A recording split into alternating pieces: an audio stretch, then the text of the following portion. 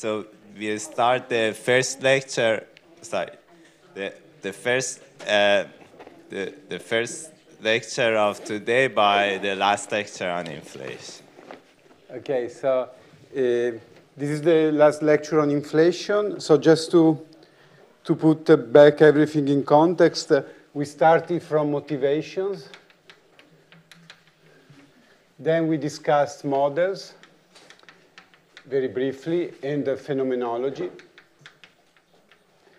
And then uh, we understood that uh, to understand phenomenology, we, we, understand, we need to understand the issue of number of e-folds.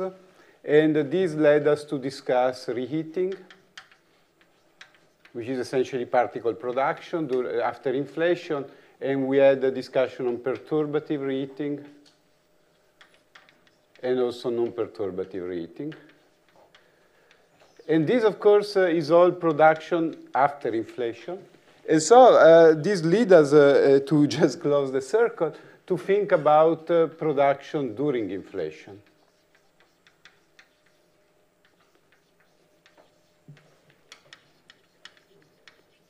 It will kind of close the circle in this way, because then uh, this we can try to connect it to models and we try to also hopefully connect it to phenomenology, right? That, that would be the ultimate goal.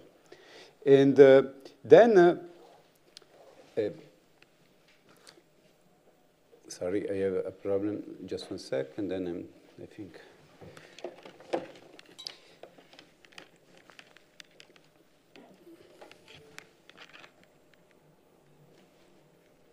Because I need to minimize, uh, okay, now, now I'm and then, uh, uh, so the basic idea is that uh, we have uh, the inflaton. The inflaton will decay, in part, uh, very little, to some field, and this will produce inflaton perturbations and metric perturbations.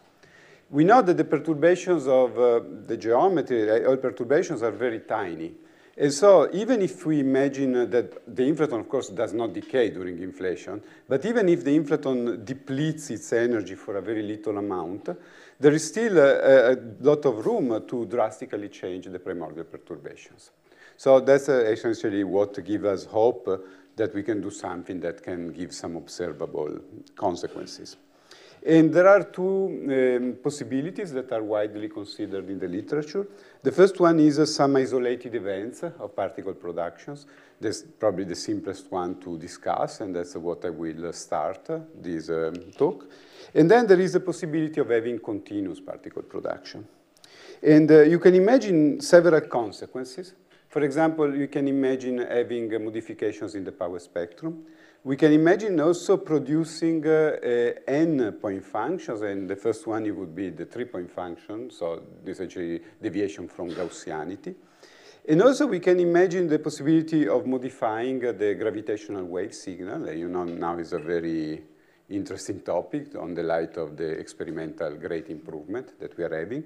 In principle, although this is very hard to observe, you could imagine even the three-point function of the graviton, like for the density perturbation, although it's nearly unobservable. But then another possibility, if you enhance uh, density perturbations, could be to produce uh, primordial black holes. I will also try to mention this. And then uh, the other possibility, finally, and we try to discuss why, uh, is uh, also to modify the evolution of the inflaton field. Just if you produce particles, you lose your energy, and so you will get slowed down. So that would be one other possibility. In principle, we could also imagine production of primordial magnetic fields. Uh, we heard a talk uh, from one of the students. Uh, that's also a possibility that uh, you could imagine producing during inflation by the interactions of the inflaton.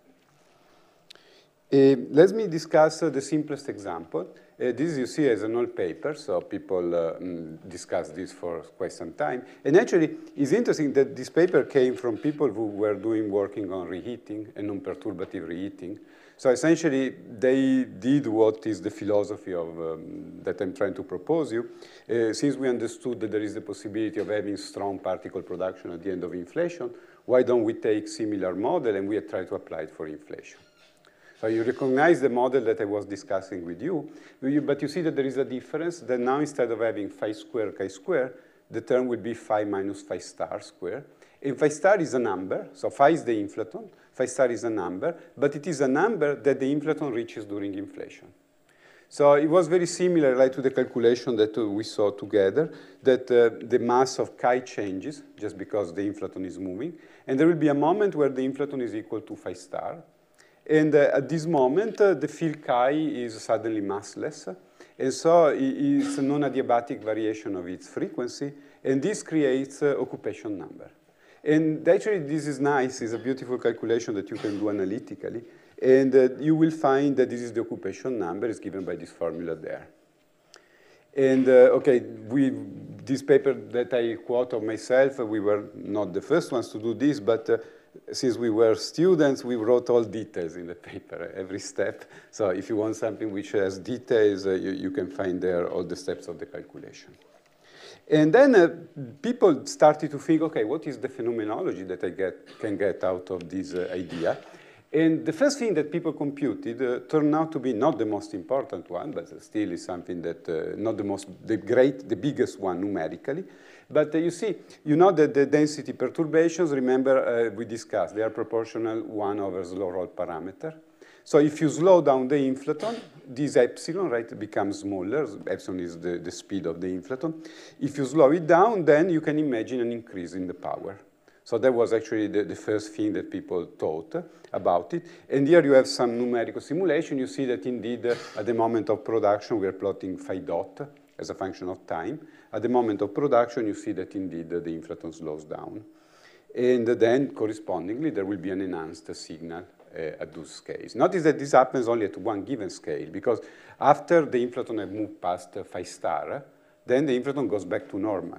So essentially, you expect uh, that if you imagine what you would, would be uh, perturbations, right? You would imagine that if here is k, here is p, you imagine scale invariant, and then you would imagine a bump.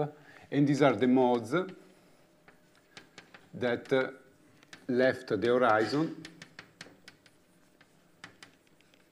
at uh, when phi is equal phi star. So essentially, there is now a very clear moment in the inflation, a breaking of scale invariance, in a sense, that is uh, dictated by the fact that there is this number phi star in your model. So this is something special about that moment. And then uh, you can hope to see some enhancement at that particular scale. But in fact, uh, what uh, was uh, uh soon realized is that there is even bigger effect on the perturbations of the inflaton field due to rescattering. Because you see these quanta of chi, they are produced with some momentum. Right? You see label k is the momentum. So these are particles that are moving. And this particle will go against the condensate of the inflaton field and will drag some power. So essentially, these particles act as mediator. They take energy out of the inflaton and they produce inflaton perturbations. And these are signals that uh, actually will be actually, when you do the calculation, it will dominate the bump that you see on that scale. Now, uh, just, I will not really be able to do calculations here on the board. Uh, I will maybe try, if I have time, to just do some simplification. But uh, let me just tell you that there is a formalism where developed to do this type of calculations. Of course, you could do them numerically. Uh, actually, uh, the, the, first paper here, the Barnaby et al., they, they were doing some numerical simulations. But you can also do analytic calculations.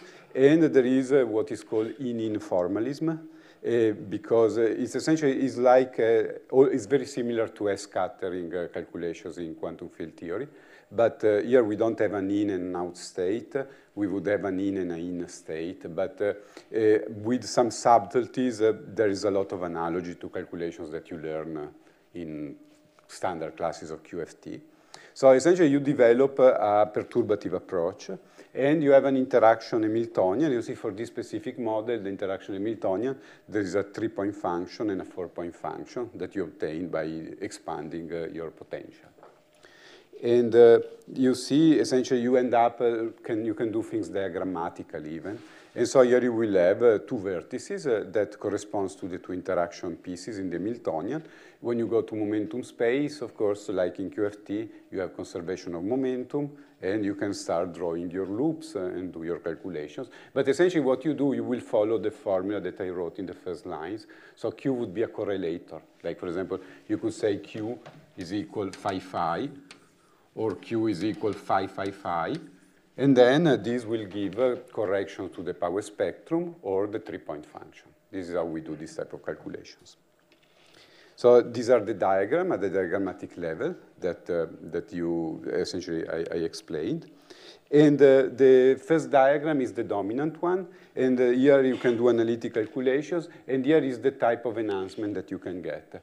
Actually, uh, this model is very simple, so one can work out everything analytically. So you can know the shape of the bump, uh, the amplitude of the bump.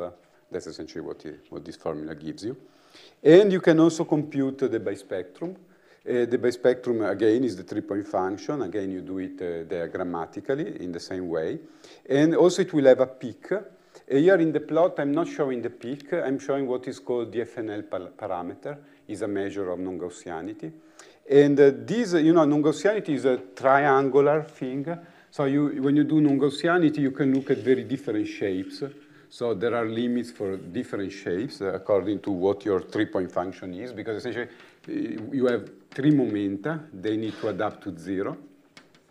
But you, you, you have many triangles. And uh, this type of non-Gaussianities is uh, typically of the equilateral type. When you look then uh, from the data, this will be the, the limits uh, on equilateral non-Gaussianity.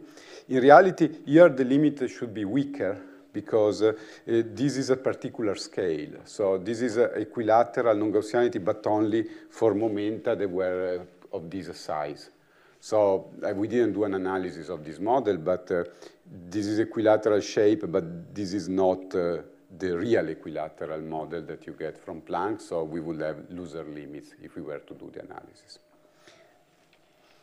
Now, there's a nice idea uh, by uh, the people that you see there, uh, and the idea is that imagine that you don't have only one episode of particle production, but you have several episodes of particle production.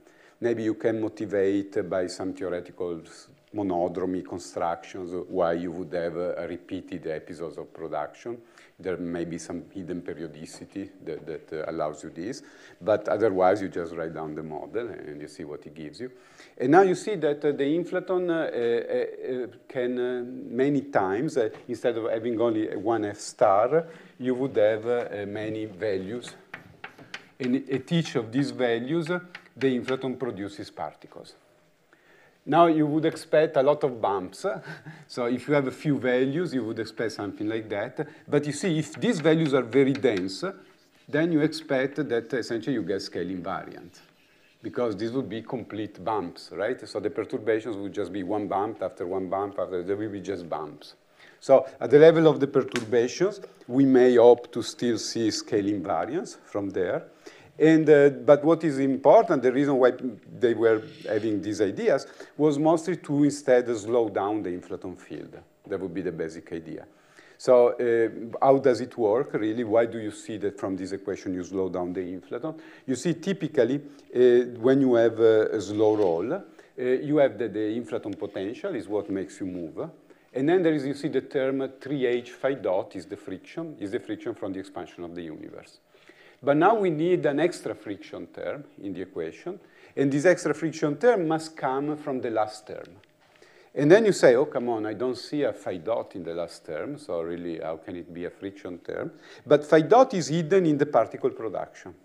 So what I'm trying to argue, you see, if you have g times uh, uh, phi minus phi star, this will be the effective mass for the field. And so you see there that you have a power of g then you have the mass, and, and then you have the amplitude. And uh, this uh, will give me an energy density. So you see essentially that the mass uh, times amplitude square, so what you really have there, you have g times mass times amplitude square. And this will be g times number density. G is the coupling. So essentially there you see you have a number density. And then by number density, you integrate the occupation number that I was showing you a few slides above. And you remember that the occupation number was a function of phi dot. Uh, maybe I can even go back and show it to you. Remember this. Right. The occupation number, as you see, is a function of phi dot. So when you do this integral, you will end up having phi dot in your equation. That's what you have. And so you see, okay, now I see the friction term. You see there is a theta function because, uh, of course, the friction term is important after the production. But after the reproduction, you get uh, slowed down. And this term, now you enter in your equation, imagine that you have dense episodes of particle production. So the inflaton keep producing, and so it gets slowed down. And uh, as I say, right, just by thinking in terms of energy conservation, the inflaton has to slow down. And uh, mm, essentially, this is the equation, again, we, we solve. And uh, this is a realization of an old idea of warm inflation by Berera that uh, essentially from the idea of Berera is that it produces a thermal bath and then the interaction with the thermal bath slow it down. But here you see you don't need to assume thermalization. You just produce particles. The, partic the, the production itself slows you down and, and, you can do a calculation. Actually, mm, is even, there is a, a clear QFT behind it, so you can do explicit calculations of this type. In fact, the perturbations were studied in the original paper, in some other papers. Uh, uh, of course, this is my own point of view. I claim that we did it a little better, but of course they claim that they did it better. So I leave you just to judge. If you want to see, there are different, slightly different results in different works uh, because we all do different type of approximations. Okay, so uh, you can judge by reading what you think. Now, uh, you see that uh, we go in steps, right? We had one episode of particle production, then we had a lot of discrete episode of particle production. And so now you can imagine, okay, let me think uh, how can I have continuous particle production? So I want to have an idea that uh, relates somehow to trapped inflation, but I would like to see it in a simpler way so that instead of having dense uh, discretized particle production, maybe I can have a continuous function that keeps slowing down and this would be simpler from the point of view of doing calculations. And uh, I want to introduce uh, a, class of models uh, very, very quickly. Uh, we didn't really discuss many models, but okay, here it is. You know, uh, something that uh, I point you out to you, a bit hiding the difficulties, remember epsilon is m Planck square v prime of v square, eta m Planck square v prime prime over v, and we know that epsilon and eta must be much smaller than 1. And you know, if you think about the inflaton being uh, Planckian in VEV, you would imagine that uh, if you just draw a potential out of your mind, you, you would just get uh, eta and epsilon of order 1. And the question is uh, how they are, how comes that they are of order 10 to the minus 2 or less? Uh, is there a tuning involved? Uh, possibly there is tuning. And then you have to worry about quantum corrections, right? If I have inflaton coupled to matter, for example, then this could give uh, loop corrections that could spoil the flatness of the inflaton potential. Like we worry about the Higgs, right? Why is the Higgs so light? The Higgs is coupled to the standard model fermions, why don't the loop of the standard model fermions spoil the lightness of the Higgs? Light compared to greater scales, right? Uh, and then we have a similar, um, yeah, by the way, if you have questions, I mean, this is more like a seminar because today I didn't, I prepared slides, but if you have questions, feel free to interrupt me. I saw something from the Zoom, I don't know. Yes, there is a question. Um, are there any constraints on how, how much should the power spectrum increase due to this particle production? Yeah, we will. Since, sorry, the con, uh, continue. Since the enhanced power spectrum could also form black holes upon horizon reentry. Very good question, and the answer is uh, that's exactly what I'm going to discuss in the next uh, minutes. So yes, yes, there are constraints, and that's certainly that we need to take into account. So, so yes. Uh, so let me just finish to motivate this class of models. And then uh, you imagine, right, imagine that there is, you know, in, for Higgs, uh, we, sometimes we invoke supersymmetry. And so we imagine there is a symmetry. In this case, it will be a shift symmetry. And imagine that the couplings of the inflaton are invariant under a shift symmetry. So if you do phi, phi plus a constant, uh, this would be, mm, essentially, you need to be invariant under this type of transformation. And uh, this will give us some very specific couplings to particles. Like, for example, the first coupling to fermions uh, would be of the type you see there is a derivative coupling. And then even the coupling to gauge fields, even if you look at the first expression, it doesn't look like a derivative coupling, but if you do one integration by parts, you see that is also proportional to the derivative of the inflaton. So you see these terms do not change the potential. So by themselves, because they are invariant under phi goes phi plus a constant. So if you put them in loops by themselves, they do not modify the potential. And uh, so that's the basic idea, right? If you just put this coupling, they, they will not, you will not worry, they will not spoil the flatness of your potential. But now what is great because we have uh, something predictive, right? I, I, think you appreciated that the problem with the coupling of the inflaton is that you can do a lot of freedom, you can do more or less what you want.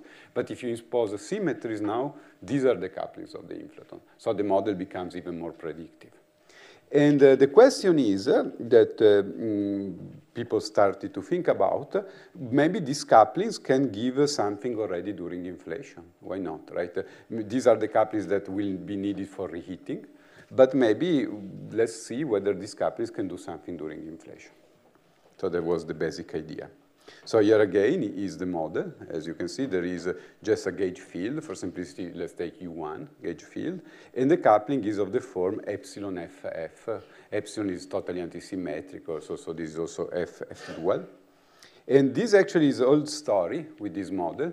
This was studied, introduced first by Turner and Widrow some many years ago uh, for magnetogenesis. So they were thinking, okay, if this is the uh, photon of the standard model, you can produce magnetic field out of there.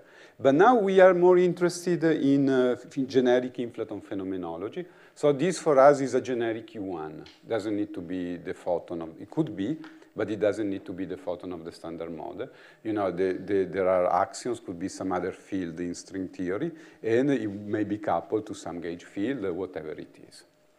And uh, as you say, right, as again, if you just look the first uh, expression, you say, oh, this is not a derivative term, but in fact, uh, up to a total derivative, uh, this is indeed a derivative coupling of the inflaton.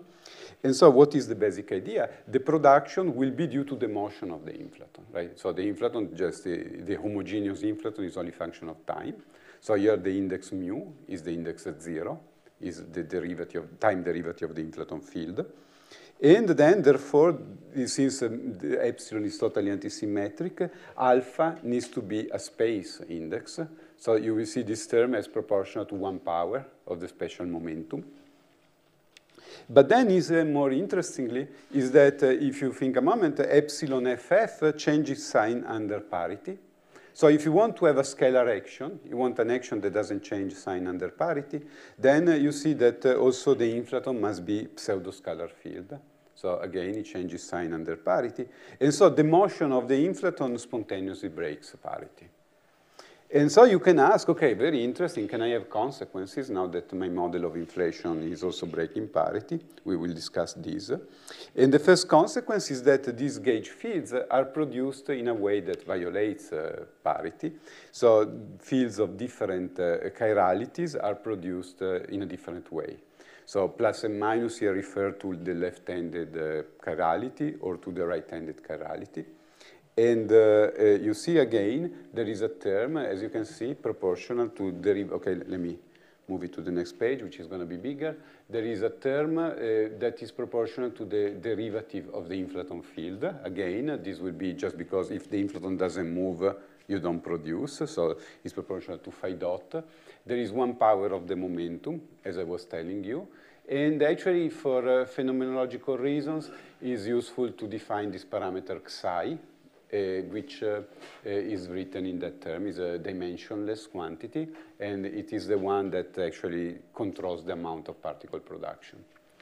And uh, essentially, uh, we will see that phenomenology constrains xi to be a order one parameter, a few. And uh, then, uh, then again, you see there, the, again, you have the thing of uh, horizon crossing, because you see that uh, essentially xi is a parameter of order 1. You have the first term, which is proportional to k squared.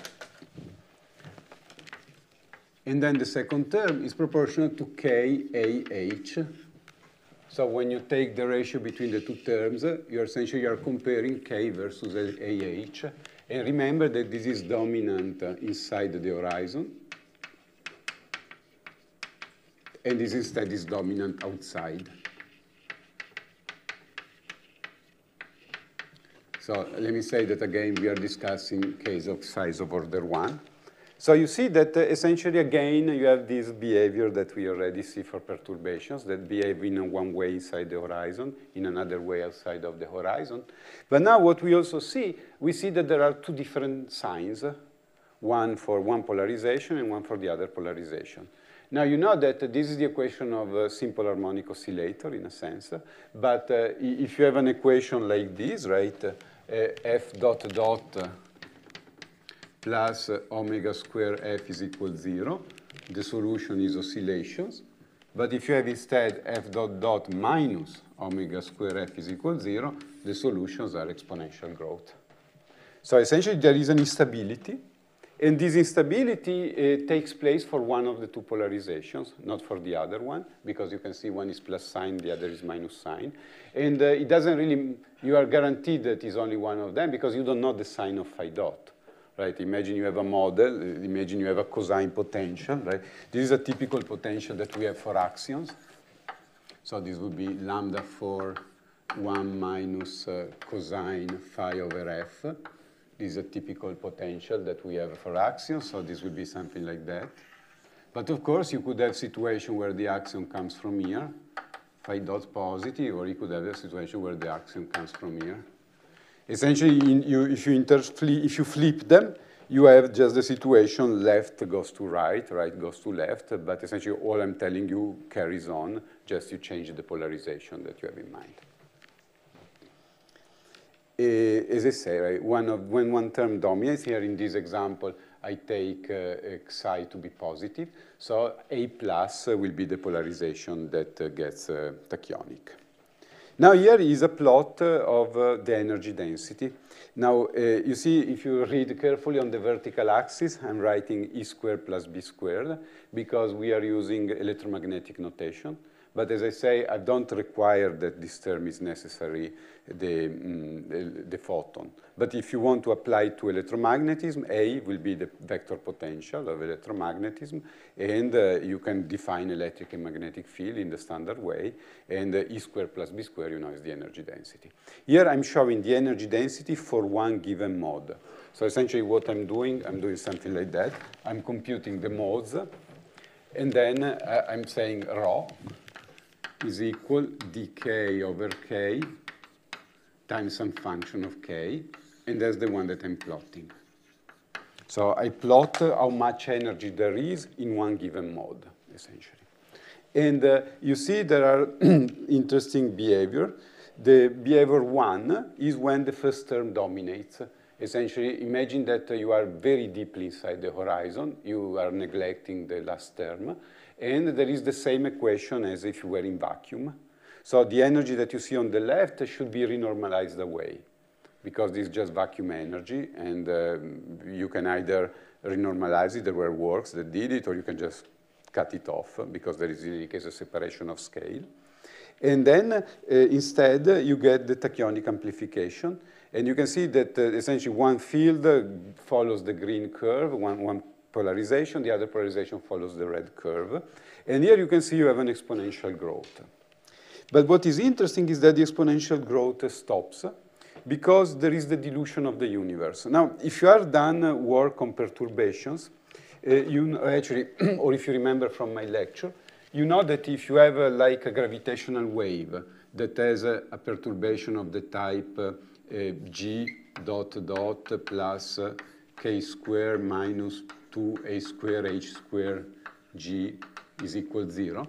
You know that uh, during, remember this term was uh, 1 over tau squared, and tau goes to 0 minus at the end of inflation. Right? This, this is a as a function of tau. And if you have something where the equation is a squared, this tachyonic instability, remember, was giving a flat power. Do you remember this? So 1 over a square is tachyonic, but then you are fighting against the expansion of the universe. So there is this that tries to give you energy, and then the expansion of the universe that tries to give, take away energy from you. So this was giving final constant power. But if instead now we have a model where the, mm, essentially the tachyonic term is only proportional to one power of the scale factor, is not able to give you enough power, and eventually the dilution will take over. So the mode gets produced uh, by at horizon crossing, but then the production is not strong enough and it loses against uh, the expansion of the universe, and, and, you can see it there. Which is good from the point of view of this model because it's regulated in the infrared you don't worry about uh, producing infinite power at very large scale. Right? Because if you have a tachyonic instability that keeps going on, uh, you could worry, okay, I'm putting too much power and then I'm really losing all my energy. But here you see the power nicely cuts off. So in the UV, you need to regulate it, and in the infrared, it does it on its own. And the important thing, uh, we, this will be important for what I'm saying later on, is that the amplitude of the vector field will be proportional to exponential of phi derivative. Do you have a question? How does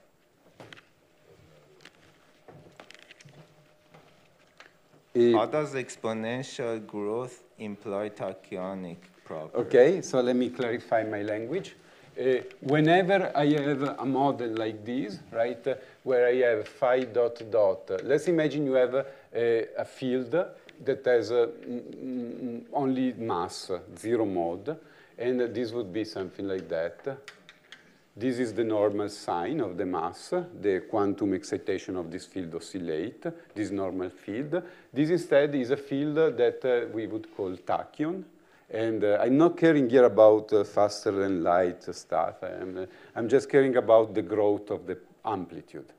I'm just saying that if I have a field that in some range its mass square or its effective mass square becomes negative, then the amplitude will grow exponentially. There is nothing bad. It's not it's a sick theory. Right? Usually you think tachyons or something bad. There is absolutely nothing bad. If you remember the perturbation for gravitational waves, obeys this equation here. So there's nothing intrinsically bad. I'm just saying that uh, there is a regime in which the mode behaves tachyonically, in the sense that uh, its amplitude grows exponentially. Th th that's all I really mean. It's not even exact exponential, right? It will be exact exponential if the quantity there is constant. So by exponentially, I mean uh, it just grows a lot. Sorry, I'm doing also this uh, type of uh, very quick uh, words. But uh, tachyonic just means in my context that there is this instability that makes the, the amplitude to, to grow. And uh, essentially what you see is that at each moment, so remember this growth, uh, as you can see from the vertical axis, this growth takes place when the model leaves the horizon. So as the model leaves the horizon, it grows, and then it will get diluted away. But then, as you remember, at each moment during inflation, there is a mode that is exiting the horizon. So in a bit, there will be a new mode that will be taking over. So you see this is continuous particle production because at each moment during inflation, there is a mode of the order of the horizon that is, giving, that is getting produced. Right? So essentially, this is why it is continuous particle production. There's not like in the first model that there was something special, a phi star. At any moment during inflation, there is a mode of the gauge field that is of the size of the horizon, and therefore, this is the mode that gets uh, produced. And now you can ask, uh, okay, very good, I understood that there is this gauge field production, but uh, is it interesting for phenomenology? And, and that's actually the question that we asked ourselves a long time ago. And uh, the, the, first, the process that you see there, the first of the two processes, is what you can think about as an inverse decay, right? If you have a particle that decays into particles, you can have the, the two daughters, sometimes they meet and they do inverse decay. Or you could have uh, that the two particles meet and they produce gravitational waves. Remember, as I said, these particles have very short life because the gauge fields get produced and then they die. So at the end of the day, you don't look for the remnants in the gauge fields because the gauge fields have, have died. But uh, the, the gauge field, in the short amount of life that is allowed to it, he has the chance to produce um, inflaton perturbations or gravitational waves. So you see the gauge field acts as a mediator. You produce it, then it will dilute it away, and in the short amount of life that it has, in its full glory, it can produce perturbations, right? Uh, you know, I thought a lot about this model, so I feel sympathetic for the poor, these poor gauge fields. so what they can do, right? You can have a production of a power spectrum and production of uh, the bispectrum. And uh, this is the result for the power spectrum. Notice that essentially these modes that are produced are incoherent with respect to the vacuum perturbation. Right? In absence of this production, there is the vacuum mode, the usual one that we discuss. When we discuss inflaton phenomenology, we were looking about the vacuum modes, the modes that are just produced by the expansion of the universe.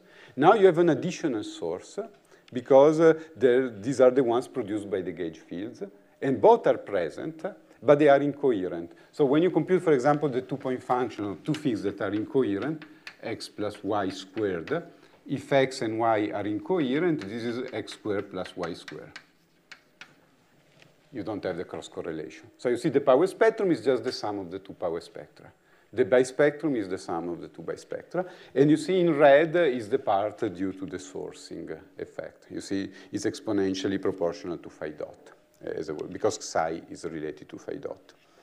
And uh, here is essentially is uh, what we find uh, for this model. We took linear or quadratic inflaton potential, just for simplicity. The result change a lot if you change the inflaton potential. And uh, then here uh, you see that uh, is a plot. On the top panel, I'm showing this FNL parameter. On the bottom panel, I'm showing the amount of gravitational waves, tensor to scalar ratio. In the horizontal axis, there is the axion scale. But notice that the, the production is 1 over f. So if f is large, you means that there is a small coupling. And uh, if, uh, um, if f is small, there is large coupling. So the question is, what did I consider in the source? The source is the one that you see from the figure there, right? The source is the gauge fields. The gauge fields are acting as source of inflaton perturbations and of metric perturbations. Now, uh, the, by, the bispectrum, you don't care about the vacuum bispectrum. This is negligible for these uh, numbers that you see here. But the source perturbations are highly non-Gaussian. And so if you want to limit these, uh, you need to take the scale f to be greater than about 10 to the 16 GeV, which is very close to the string scale. So it's a, actually a very interesting limit. And uh, uh, this is essentially the limit of the coupling of the axions to gauge fields. And uh, then there is uh, also another interesting uh, thing that I will comment more later. It's about the gravitational wave production.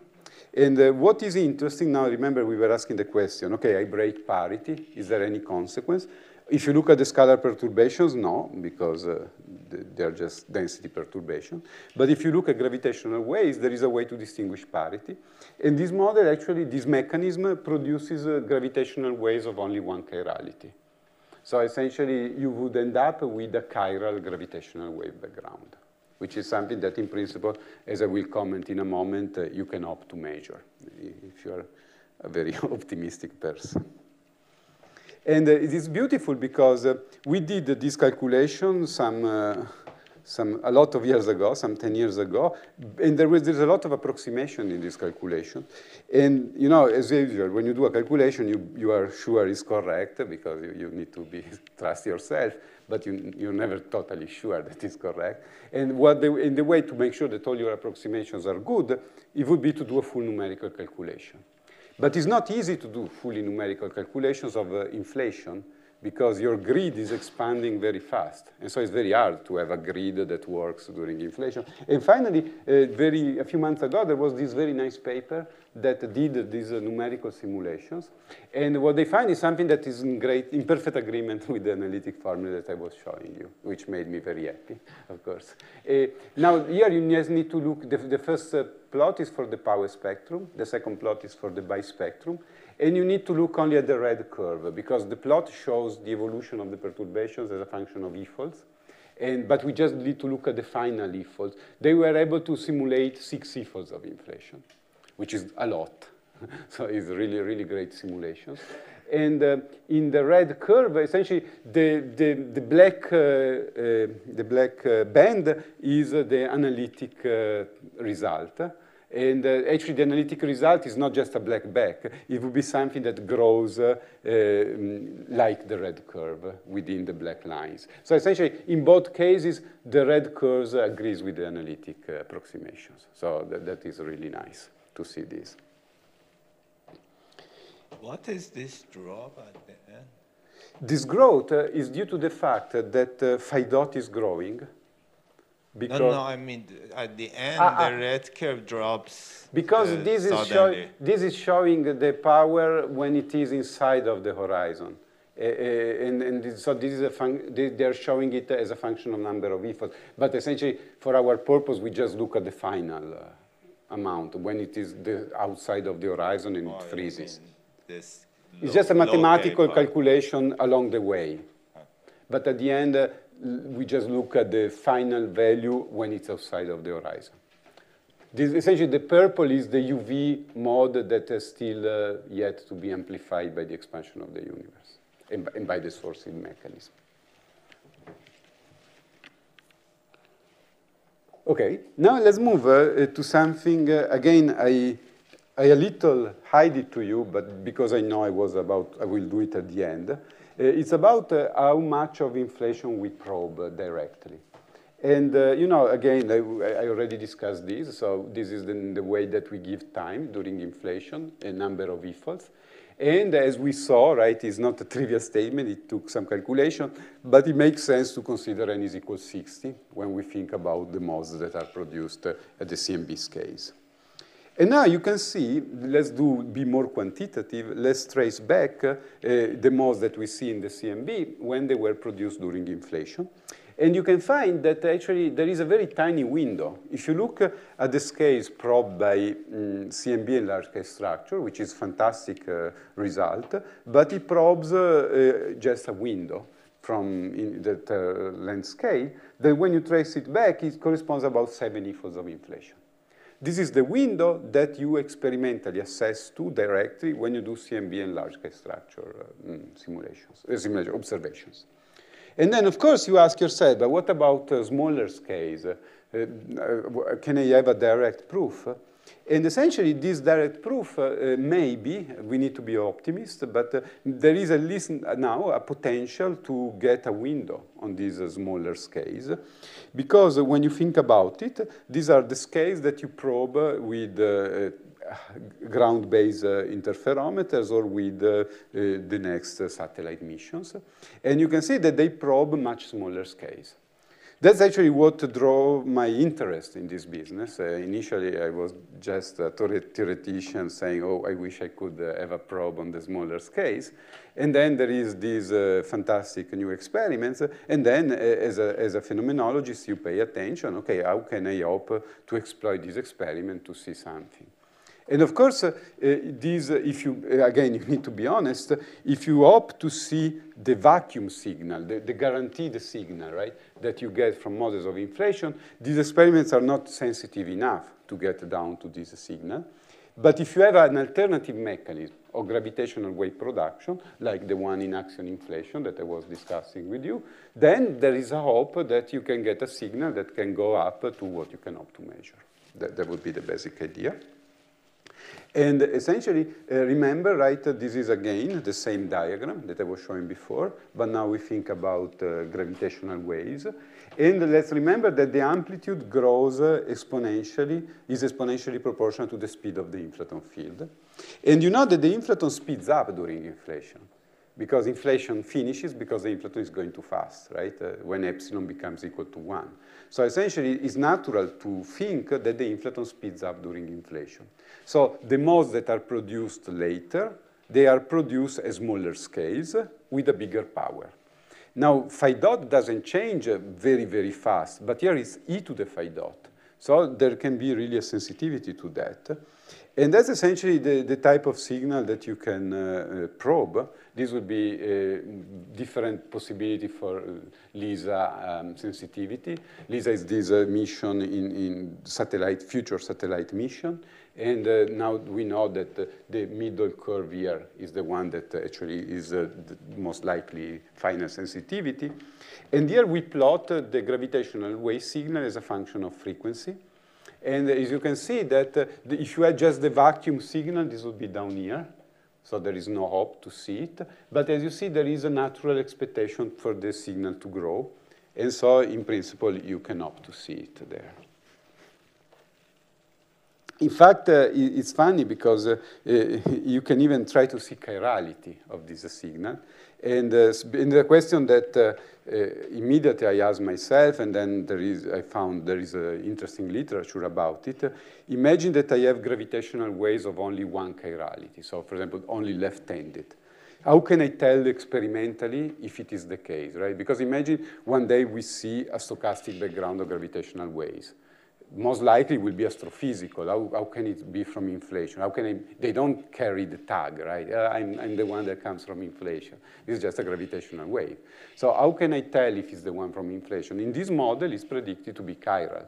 So if I was able to see that the stochastic gravitational wave background is chiral, then uh, uh, certainly this would be a strong argument in favor of this type of mechanism. And actually, on the top panel is what we did some years ago when we try to look at uh, putting together interferometers on the Earth. And uh, the second thing is uh, actually something that I, I, like more because this is something that I thought it was not possible. So LISA is a planar instrument.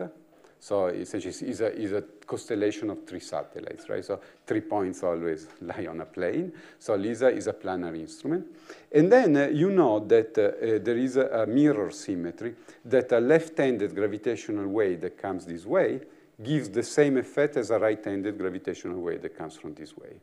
So if uh, there is a complete isotropy, LISA will not be able to see chirality. But what is uh, interesting uh, is that uh, if you think uh, where we are, we probably move in the rest frame of the uh, stochastic gravitational wave background. So there is an intrinsic dipole in the same way as there is for CMB. And actually, it will be great if we are able to see this dipole. Because, uh, right, you could ask yourself, okay, imagine that there is this gravitational waves, but what is the rest? You know, the CMB is a is a privileged frame because there is only one frame in which the CMB is at rest. And this is not our rest frame. Right? We are moving in that frame with a speed of the order of 10 to the minus 3. That's what produced the dipole of the CMB. And it's very natural to ask, okay, imagine there is this stochastic background of gravitational waves. Is there a rest frame also for that uh, signal? Is it the same as the one from CMB? And uh, actually, you can ask yourself this type of questions. And uh, as you can think, just for the point of view of chirality, uh, this is the one that allows you to see chirality at LISA, for example, because now you break uh, this isotropy, and so it's not anymore uh, the same uh, situation. however, of course, you pay a price. That, that, that's when you compute the, the signal-to-noise ratio you will pay a suppression because uh, uh, you, you know we move, uh, let's assume that uh, it is the same rest frame as the CMB. We know that our speed is of the order of 10 to the minus 3. But in principle, if the signal is big enough, you can hope to see also this effect. Now, let's uh, move uh, to the discussion a moment of primordial black holes that was asked before.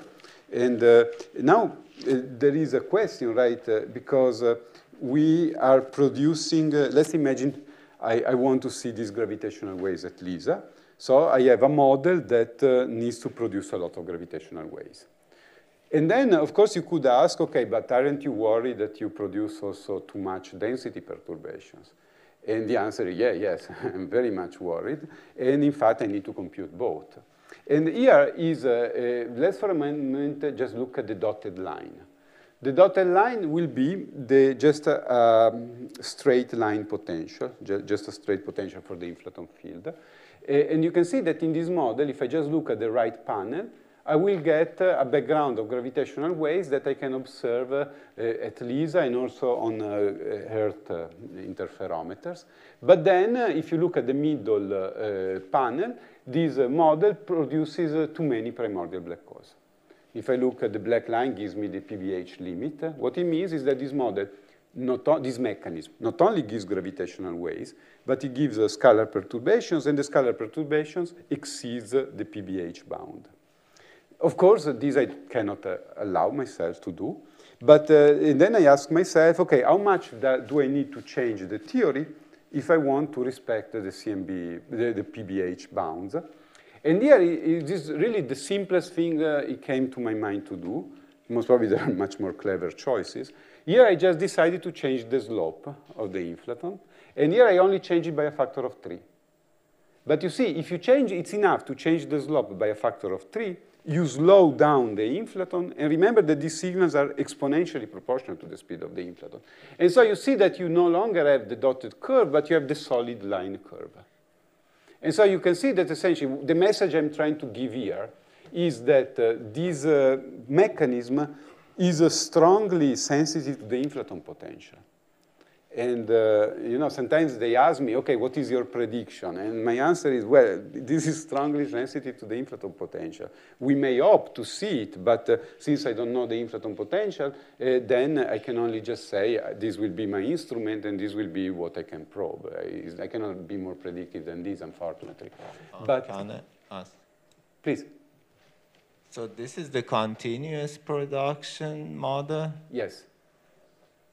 And can, uh, can you explain why is, uh, so first of all, the middle plot is showing? Okay, yeah, let me be slower.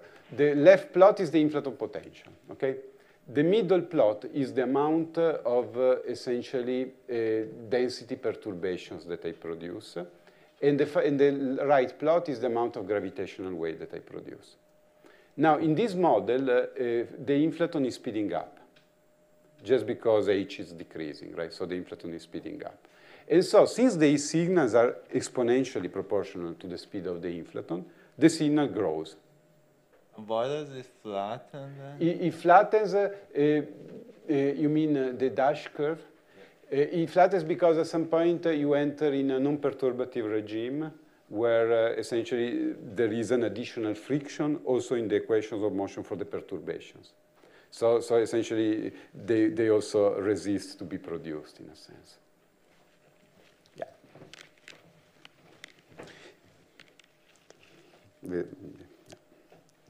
Uh, this, uh, however, right, uh, if you, of course, uh, right, uh, you know, if you want to produce primordial black holes at one given scale, you need to have a model that breaks scale invariance.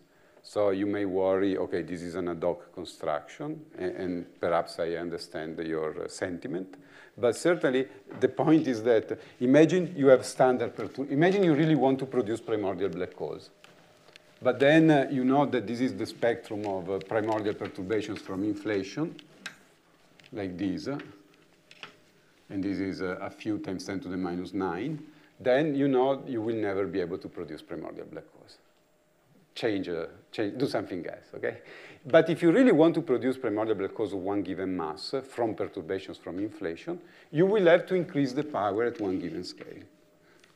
So, so this will be a 1, and this will be maybe 10 to the minus 2, 10 to the minus 3, but that's what you need to do. And you may ask, you may say yourself, okay, this is just ad hoc, I don't like it, it's an attitude, but, or you may say, I have a model that can give me this. So let me explore this possibility in the context of the plot that I show you, and it's up to you to, think whether it's uh, relevant, interesting, or not, right? It's really at some point uh, everyone's taste.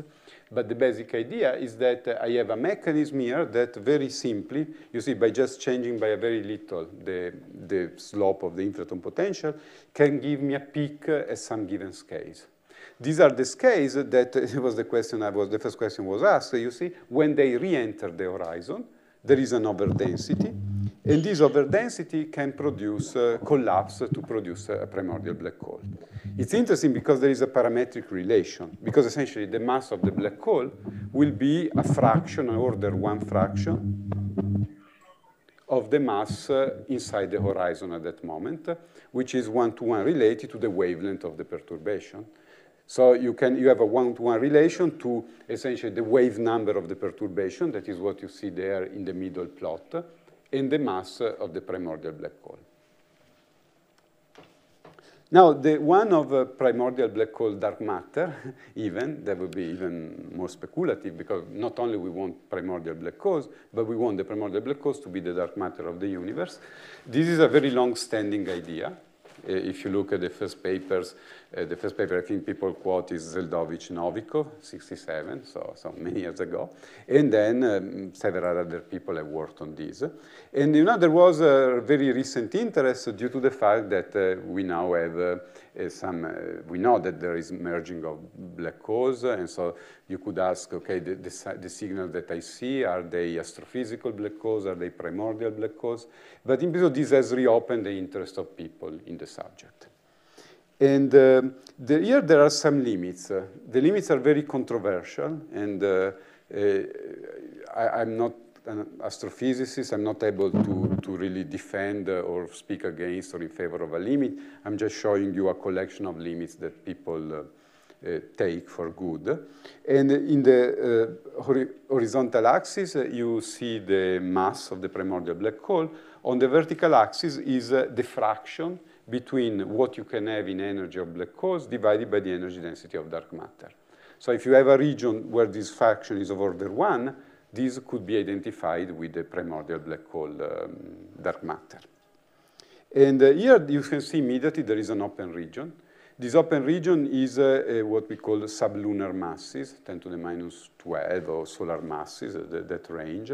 And uh, before, uh, this region was, there were limits that were put there. But essentially, these were limits from lensing. But then it was argued that these limits don't apply because essentially the Schwarzschild radius of this primordial black holes is so small that is smaller than the wavelength of the radiation that you get to get the lensing. So geometrical optics doesn't apply in a sense. There were also some limits from uh, capture of the primordial black holes from uh, neutron star or from white dwarfs, but uh, essentially these limits are debated because uh, you don't know the dark matter abundance uh, in these regions, and also there are some uncertainty in the nuclear physics. So um, what I'm trying to say is that uh, there is debate on whether this window is open or not, and most of the people, there is some agreement in being conservative and say, okay, there is this possibility. You could see also that there is a kind of uh, some uh, possibility also for masses of the order of solar masses, but that seems to be excluded. Uh, although, again, if you talk to different people, you get different answers. But uh, let me just say that there is this window that seems to be more uh, promising uh, for light mm, black hole masses. And the idea is that now I'll try to argue a different mechanism for production of gravitational waves that would be a smoking gun of the presence of these primordial black holes. Uh, imagine that uh, you have uh, produced essentially these enhanced density perturbations. These enhanced density perturbations, when they re-enter inside the horizon, they do two things. They essentially uh, do the production of uh, the collapse to form the primordial black holes, but they also produce gravitational waves by just nonlinearity of standard gravity, right? So you would have just uh, delta rho plus delta rho that goes delta g. So just uh, density perturbations that becomes gravitational waves. And uh, essentially, uh, this is, uh, uh, you, you, need to be careful about this because that's essentially, this cartoon shows really what I have in mind. the because the gravitational waves are not produced by the primordial black holes. Because the primordial black holes, uh, at the time they are produced, they are an insignificant uh, fraction of the energy in the universe. So we don't really speak now at the gravitational waves produced at the location of the primordial black holes. What I'm telling you is that in order to produce the primordial black holes, you need to enhance the scalar perturbations. But you need to enhance them everywhere. And then there will be chances that there will be regions where you form the primordial black holes. But you have enhanced the density perturbations everywhere, so you produce more gravitational waves everywhere. Is it clear? Because it's a confusion that I did, I had in my mind, uh, a lot of people have in their mind. Now I'm telling you gravitational wave primordial black holes. The first thing that one thinks is, okay, at the location of the primordial black hole, there is production of gravitational waves. This is not what I'm saying. I'm saying the following. If this is the standard spectrum of primordial perturbations, there is no primordial black holes, and the process uh, delta plus delta goes in delta G is very tiny. if I want primordial black holes, I will have to enhance the density perturbations.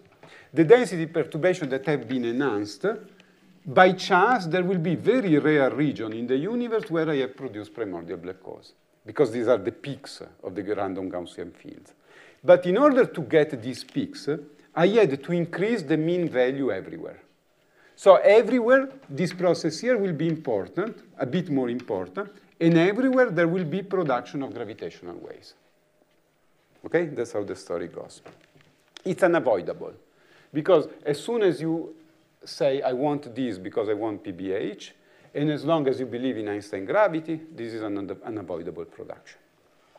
And you can ask yourself, what is the frequency of these gravitational waves? And there is a nice way to relate the frequency of the gravitational waves to the mass of the black hole. Because as I was telling you before, the mass of the black hole depends on the mass in the horizon of the region that is collapsing. So there is a one-to-one -one relation between the mass of the primordial black hole and the wavelength of the perturbation, of the density perturbation. But then, since this process here is clear, this is delta, delta, delta G, the wavelength of this perturbation will be comparable to the wavelength of these perturbations. So, and then the wavelength of this perturbation is the frequency of the gravitational waves. So there is also a one-to-one -one relation between the frequency of the gravitational wave that you can observe at laboratories. And so there is a relation, once I know what is the mass of the primordial black hole that I want to produce, I know what is the frequency of the gravitational waves that will be produced. And the relation is the one that you see written there.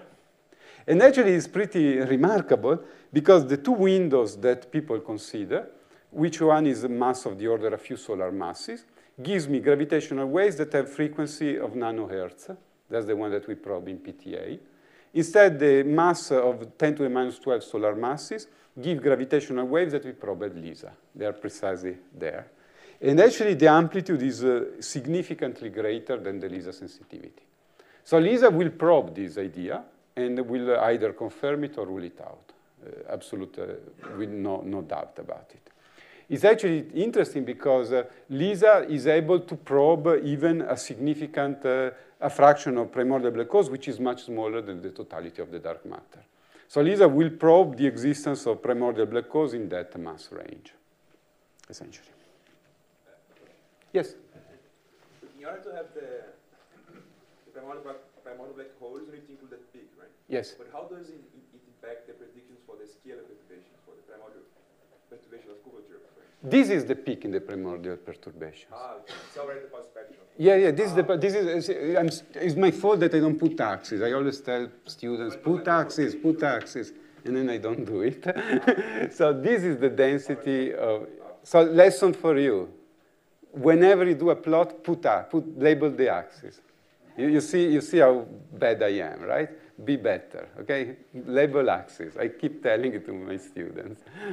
so this is really the density power spectrum as a function of wave number. And so this is the one that we need if you want to have amplitude big enough to have some regions to produce primordial black holes. Okay. Uh, I think I want to mention one final thing, and then I will uh, I, I will stop. I, I, have some more details, but, but I prefer not to have too many details. Uh, let me go back to this uh, idea of uh, essentially warm inflation. Yes, please. Why I consider these two masses? Good question. Uh, and the answer is this. Uh, if I look, uh, you see, these are astrophysical bounds from lensing or from CMB distortion or from gamma ray distortions of the abundance of primordial black holes. And so I can see, right, that uh, if I really hope that the black holes are the totality of the dark matter, I should be better be in this region because this is the mass of the primordial black hole. This is the fraction of matter, of dark matter in PBH. Can I use my pointer? Uh, uh, no, no, no, no. This I cannot. Sorry, no.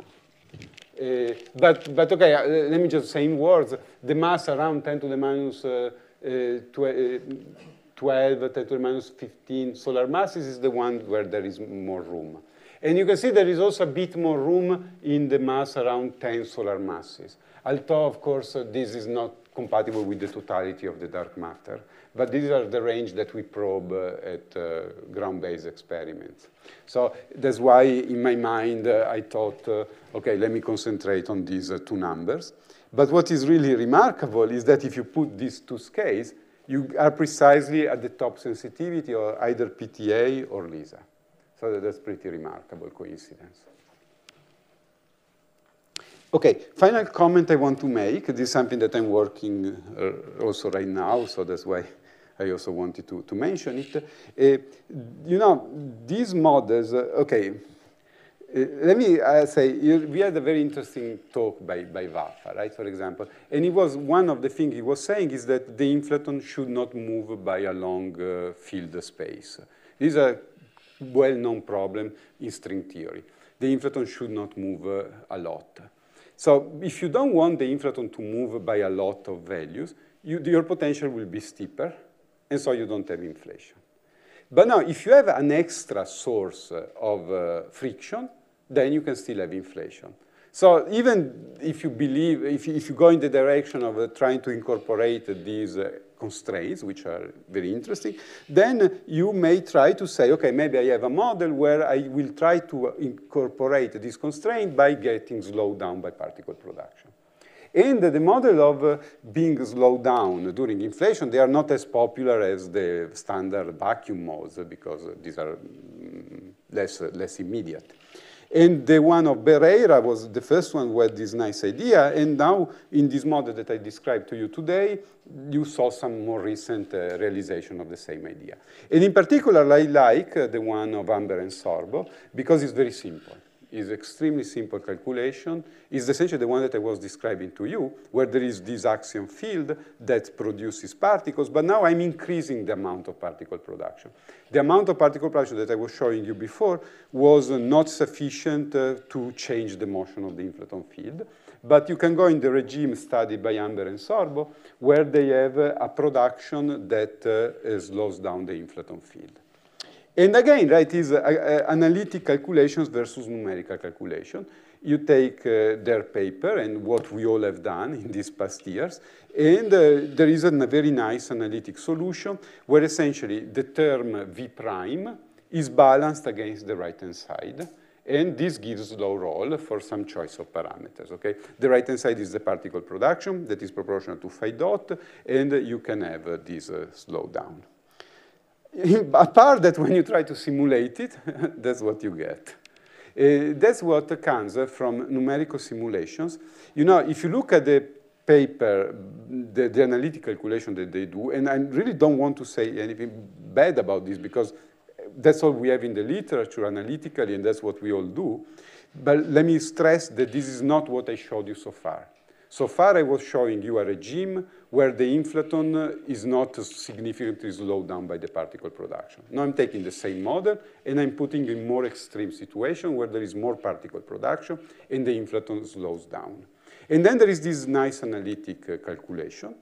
But then when you put it on the numerical simulations, you get these uh, things, which is not uh, what uh, the analytic approximation tells you. And uh, and you see that uh, essentially what I'm showing is the number of e-folds during inflation. And uh, here is some simulations which I did, not fully lattice simulations. I just uh, numerically integrate the equation of motion of the vector fields, and then I consider their effect in the motion of the inflaton field. So this is um, numerical evolution of the equations of motion. It's not a lattice simulation, and nobody is able to evolve so many e-folds of inflation on the lattice. But by doing this calculation, uh, we see that uh, uh, phi dot actually oscillates. You don't really have this constant phi dot. And what you think is going, actually what the computer shows that is going on is the following. That uh, you have an initial moment in which the inflaton sp speeds up, this, this, there is a burst of particle production, and this slows down significantly the inflaton field. And so the inflaton field gets slowed down, but then there is no more particle production, so there is no more friction. And so the inflaton field then accelerates again, and, and it goes in this oscillatory regime. And uh, as I did this calculation, I wasn't really sure because uh, the numerical calculation has its own uh, uh, limitations, particularly my version, that is, uh, there is a lot of approximations.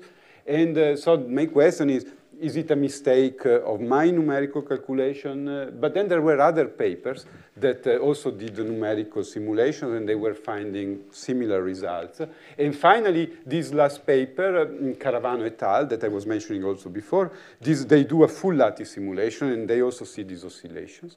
So essentially, these oscillations now make question this regime, right? Because uh, uh, the, this perfectly steady state solution doesn't seem to be respected by the numerical simulation.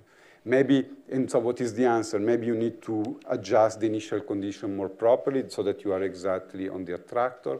But uh, is it really an attractor? Is it uh, uh, unstable? Um, what's going on? I think there is, I mean, this paper does some analytic, the, the, second to last paper does some analytic consideration, but I think there is more to understand uh, from the analytic point of view.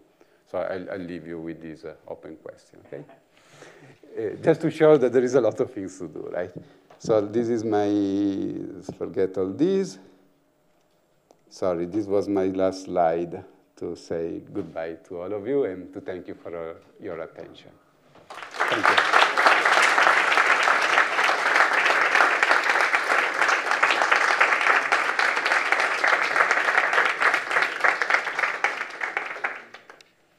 Thank you question?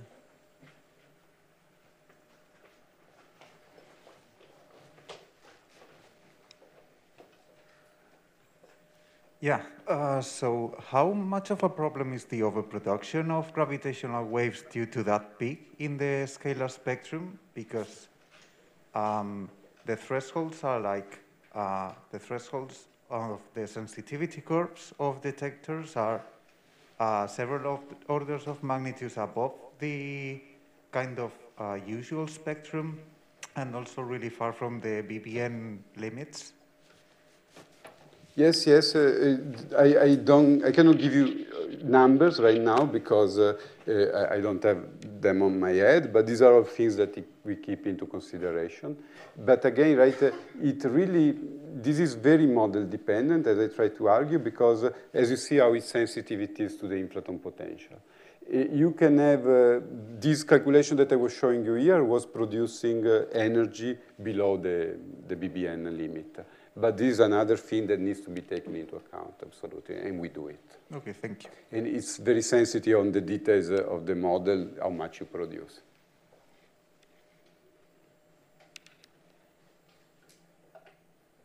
More questions?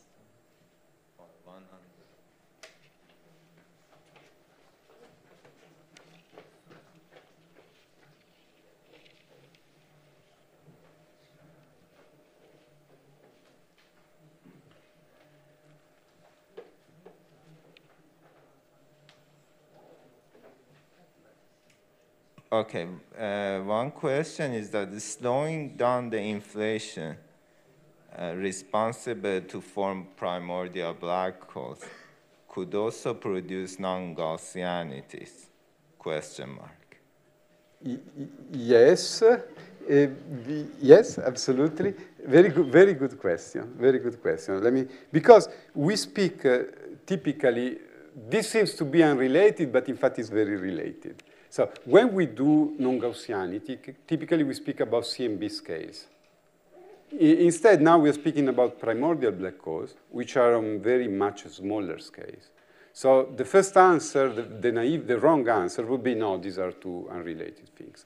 But in fact, it is related because the amount of uh, primordial black holes uh, for any given amount of density perturbations is strongly sensitive to the statistic of the perturbations because uh, the, the, the regions that form the black holes are the very rare regions, as I was telling you.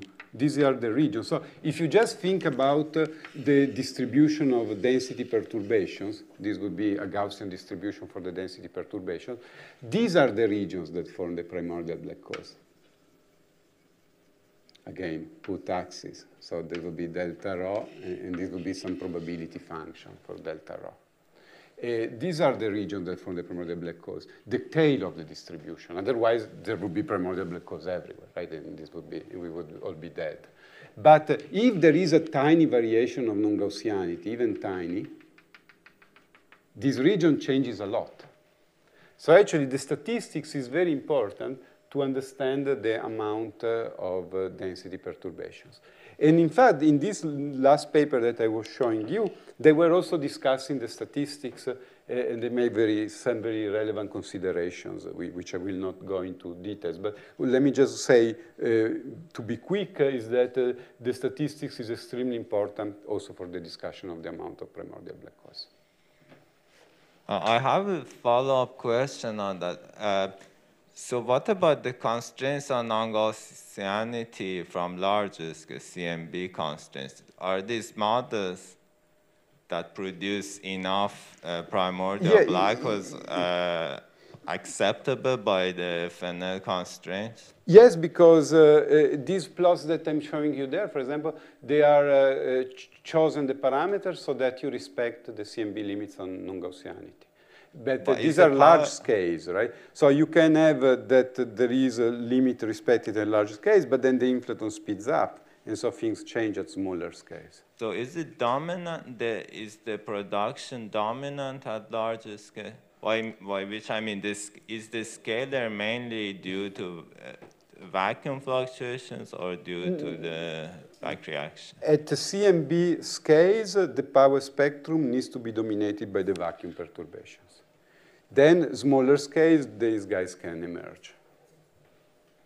Thank you. So there is another question in the chat. Uh, could you explain again for the axion inflation model when the back reaction from the gauge fields become important or relevant? Well, again, I, I, I, can only point out the equation and then one needs to do the calculation. But essentially, in the equation here, there is everything. And uh, usually, so uh, let's look at that equation. The first term is phi dot dot. And this term is neglected during inflation. Slow-Roll tells you that you can neglect this term. In the standard model of inflation, there, there is no right-hand side. Right-hand side is equal to zero. So the standard model of inflation balance the second and the third term. Instead, uh, this mechanism, Anber-Sorbo mechanism, balances V prime against the right-hand side. So to understand uh, whether if I am dominated by usual friction or by this new friction, what I need to do, I need to evaluate these quantities and compare numerically. So you just take this formula, and from these relations, you can evaluate whether you are in the standard regime or in the production-dominated regime.